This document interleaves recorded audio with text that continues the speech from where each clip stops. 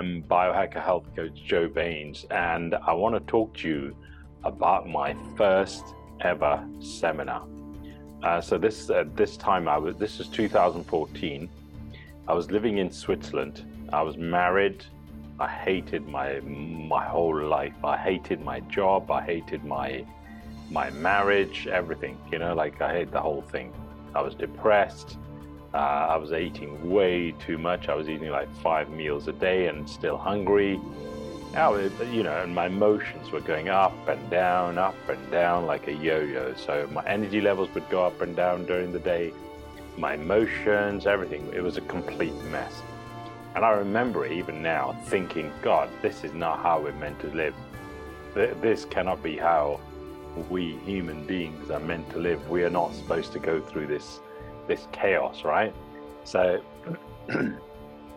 then I came across this seminar, uh, the uh, the landing page, the sales page for Millionaire Mind Intensive, and I read through the the blurb on it, you know, and uh, you know the, what what it offered, and it seemed to offer everything I needed. Like it was like it was it was it was um, it was promising to solve all my problems and had all my problems listed on there, like all of them. I was like, oh my God, this this seminar has been designed specifically for me. So I booked the the uh, and I, I think it was like a couple of weeks away. So I booked some time off work. It was a long weekend. I booked uh, I booked the seminar. I paid 200 uh, euros, I think it was. It was in uh, it was in uh, Munich, in Germany. Uh, and then I booked my train, everything, right? I booked the Airbnb there, the whole works. Paid the 200 euros, everything. And at that time in 2014, uh, Millionaire Mind Intensive, created by T. Harv Eker, um, it came with a pre questionnaire, which is about six, seven pages, quite a detailed thing. And I sat down at home and I went through that. It took me like four, five, six hours or something like that, a long time to answer all these questions, you know, and it was detailed. And I didn't want to miss a single detail. So I went through this, you know, with a fine tooth comb. And then I printed a second copy out as well. And then on the train to Munich from Basel, it was like a six or seven hour train journey. On the train, I found myself a cabin um, where nobody was sitting in there and had a table in there. There was a big desk in there. So I got to that desk, closed the door behind me. I pulled out the uh, the second sheet of questionnaires, you know, the the six questions again, and then the entire journey, all the way to Munich, I redid all the questions in there, you know, like with a fine tooth comb. Spent the whole time so I did the pre questions, um, four to six hours long altogether, twice, right? And I got to this seminar. This is my first seminar ever. And I'd always believed seminars were too expensive. Um, they were run by con artists and they're just trying to rip you off. And, uh, but I was desperate. So I was like, okay, I'm going to overlook that bit. Uh, so I got to the seminar and I was like, I'm going to squeeze every ounce I can out of this seminar. I'm not doing lunches. I'm not doing dinners. I'm not doing coffees. I'm going to be in that room. I'm going to squeeze everything out of this seminar. So I got to this seminar and I basically engaged. There was about 600 people there. And before the seminar even started, I had engaged about 200 other people. I, they actually thought I was the speaker um, because I was just hitting on everybody, everybody there. Like I was just like boom, boom, boom after one after the other, talking to everybody, saying hello to everybody, messing around with people. I was like, I am here. I'm here to work. I'm here to learn. This is going to change my life. and so for the whole three days, I would turn up several hours before the doors open. So if they said the doors open at eight, I'd be there at seven. And if the sem- if when if the seminar finished at seven in the evening or eight in the evening, I would stay there talk, talking to people, networking until 10, 11 o'clock at night. So I was there full, full on, right? And it was mind blowing. Like it was so full on that it just blew my mind. And it it highlighted loads of problems in my thinking, in my behavior, in my beliefs, everything. So anyway, at the end of it, they give you this 90 day workbook, which you take away and you you do a page a day. And in on each page, there's about eight, ten things they want you to do one after the other. And it's supposed to take about an hour, right? So what I got this book home and I would do this each page twice.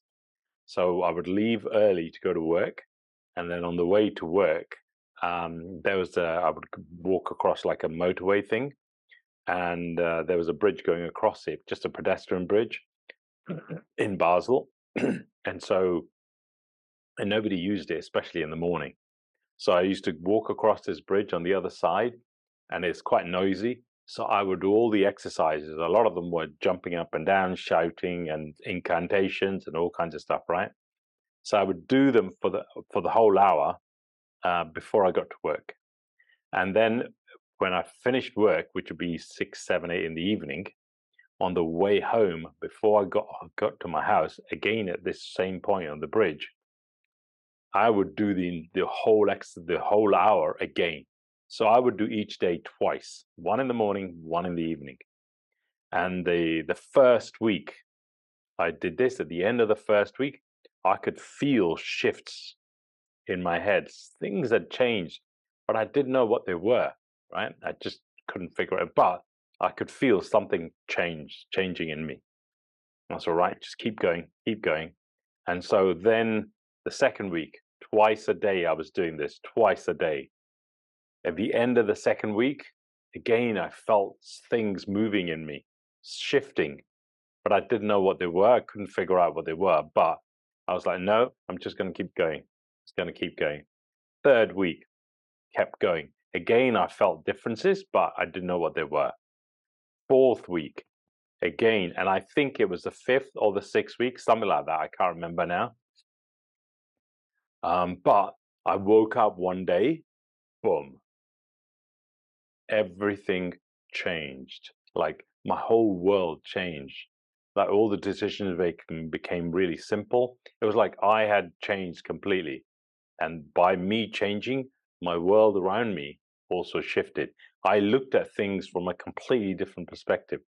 The decisions I was finding really hard to make, and that the things that where I didn't have clarity, I had now had clarity. And but what I couldn't understand anymore was why I was uh, I was struggling before. Do you know, like it didn't make sense to me why I had all those problems because they weren't problems; they were molehills. I just turned them into into mountains. But the first one was um, I was trying to leave my wife because you know it was, it was, a shit marriage. Didn't want to be in it. Still don't want to be in it, right? Um, and um, it was as sim- simple as it's just my brain went. What's the big deal?